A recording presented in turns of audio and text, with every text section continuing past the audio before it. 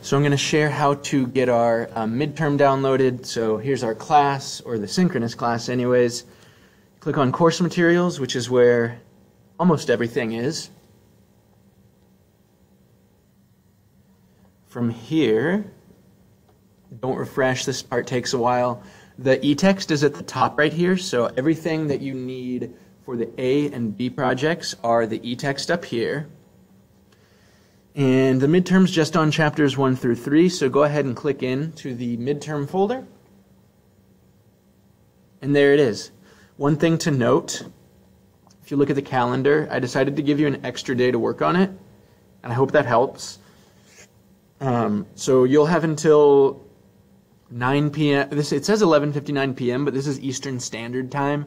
So um, you need to have it in by 9 p.m. on Sunday, uh, May 9th. That's Pacific Standard Time. And you can turn it in as many times as you'd like and get feedback. So um, click into here. It's the year end report. That'll open up a new page.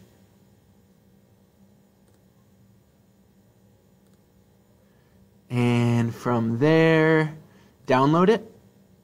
And these are the files you'll be using. Fortunately, there's just an Excel spreadsheet and a year end report instructions. So download these files.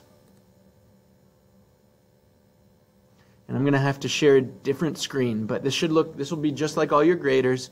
Download everything, you preview the steps, upload it, submit it for grading, and then we'll go from there. So bear with me a moment as I, you're going to have to unzip this um, folder. So just a second, I'll show you how to do that. Hopefully you can hear me, see me okay. Um, gotta change my screen. Oh no, I don't have to change my screen on Panopto. So there's the, um, do I, don't I? I don't. The top one is your midterm. The bottom one is the instructions.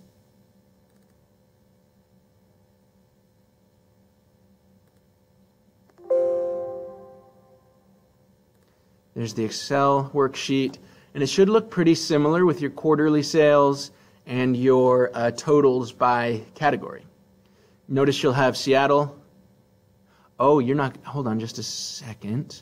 If you're on Teams, you're not able to see this, so this is going to be a little bit tricky. Um, hang on, I've got to reshare my screen. This is what the midterm looks like.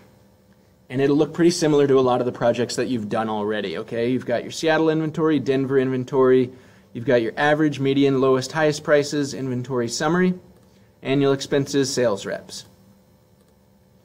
All right?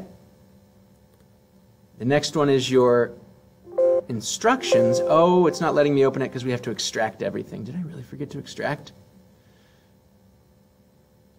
I'll share with you the word instructions in just a moment.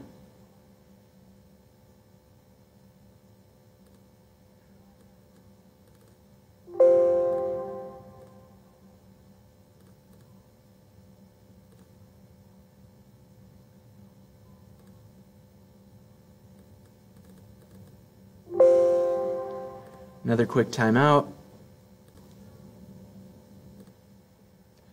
So the instructions are going to be a bit more comprehensive. And as you scroll down, you'll notice that um, we have 25 steps, okay? Now, the 24th and 25th, um, there are, you know, these should be pretty similar steps to what you've been doing on the grader. So as you scroll up, there are some um, there are some tough steps. I'm not going to be able to be as hands-on and help out as much on the midterm. This is where you kind of use your resources and show me what you've learned in the first three graders. Um, but you'll see here you're going to calculate the totals and apply the total cell style. So you'll use the sum function.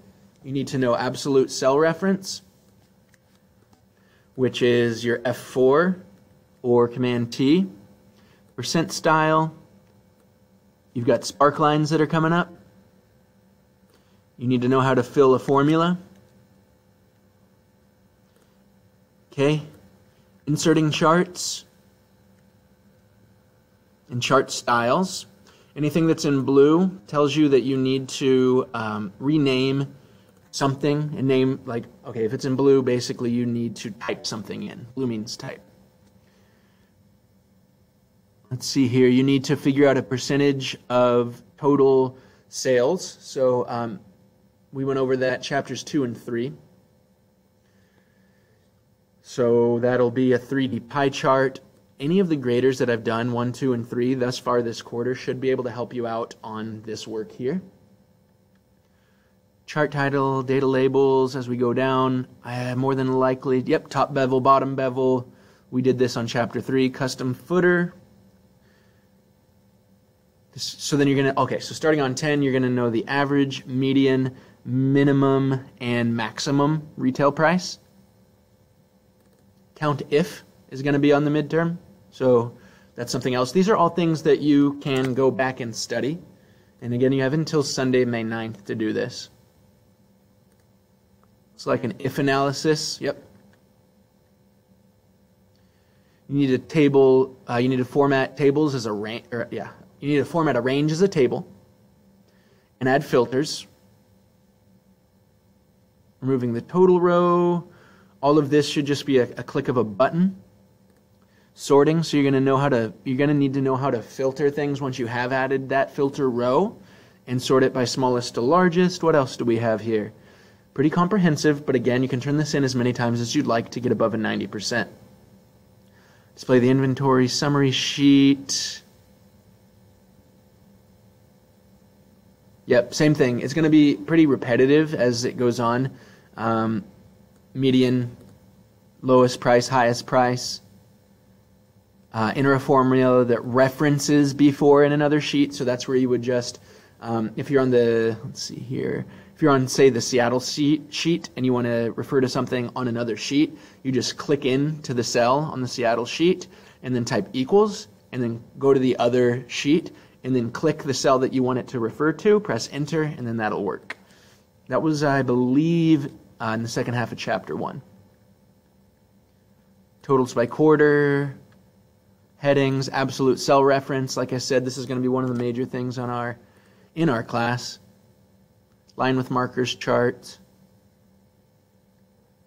chart styles, format painter.